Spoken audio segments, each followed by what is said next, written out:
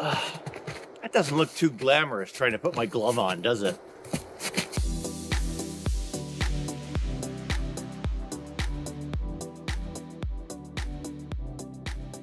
I had a cool little piece of wisdom shared by a friend the other day, and it was that nobody has 10 years experience or 20 years experience. You actually have one year of experience 20 times. You get where I'm going with this?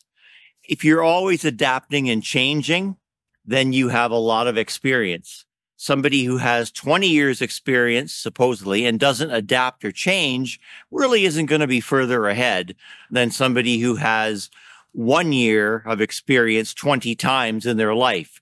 So that's why some people race ahead of other people in experience in a shorter time, just because they dedicate themselves so much to that one year of experience 10 times, 20 times, 30 times. Just a little piece of wisdom come right back because I want to talk about this camera again.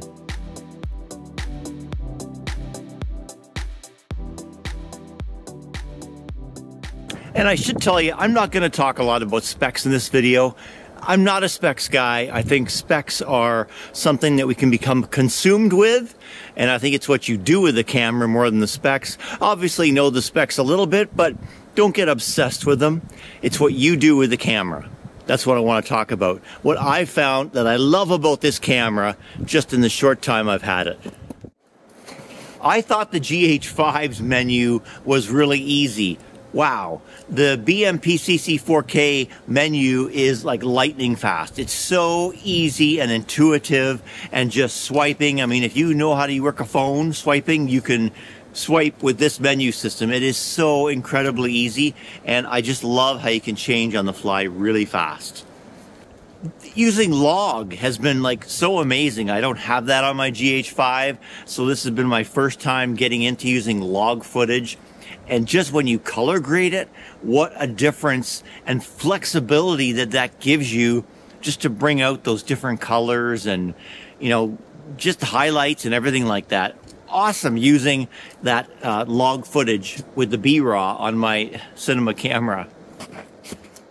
Something else I've discovered using this camera in the first month is it makes me more deliberate as a filmmaker. And what I mean by that is because the battery life is not great on these things, like 20 minutes for one battery, you got to keep changing. And because it doesn't have in-body stabilization, all those things are making me more deliberate about my shots, my planning, my setup, how I'm going to do it in a way that I wasn't doing that with the GH5 so that's one huge benefit that is helping me grow as a filmmaker. And when I rig this thing out, and I've tried a bunch of different rig configurations that I'm going to show you in another couple of weeks. I'm, this is just minimalist right now. But when you have this thing fully rigged out, it really looks professional. You look professional. And as much as we hate to talk about this, there are times when you're on set with some clients they expect to see all that fancy gear. And this looks really good when it's rigged out. It looks really professional. It looks cinematic. Not cinematic. It looks cinema. And I really feel that this makes me have a higher profile with my customers. And I hate to say that because it's just the way it is, guys, sometimes with some clients. And of course, the Micro Four Thirds ecosystem is huge for me. I have the GH5, so all the lenses I already have, I can use on this camera, which saves a ton of money in the long run.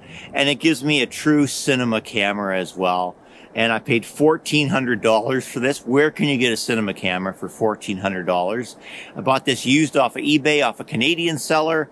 It's in absolutely mint condition. It's barely been used and I paid more than 1400 for my GH5 a few years ago. So just a great bargain to get into the cinema camera world.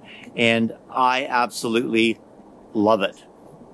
Okay. That's a really short video this week about just five or six things that I found in the first month of using this camera. And I think in 2023, this is still an amazing value and an amazing camera. And it's going to be amazing for many years to come got a long shelf life. See you in the next video.